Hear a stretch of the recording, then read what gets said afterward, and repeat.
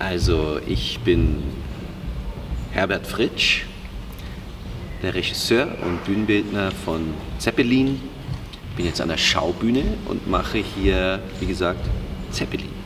Der Zeppelin birgt so viele Möglichkeiten, da drin zu spielen, dass man erstmal gucken muss, was man von diesen Möglichkeiten nimmt. Also es ist sehr kompliziert, aber auch sehr äh, unterhaltsam, die Arbeit. Ja? Also es ist ein bisschen wie Teppichknüpfen, ja, wie man da so Muster reinkriegt in dieses Gestell da, ja, und äh, ist ein bisschen so ein Klettergerüst, aber es soll eben nicht einfach nur ein Klettergerüst sein. Und mal schauen, wie das wird. Es ist, bleibt spannend, die Arbeit.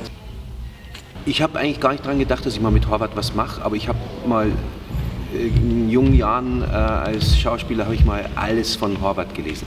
Und der hat mich damals schon sehr, sehr, sehr angerührt. Und äh, ich habe immer gedacht, irgendwann mache ich mal was damit, aber das habe ich dann vergessen über so verschiedene Sachen, die ich in letzter Zeit gemacht habe. Und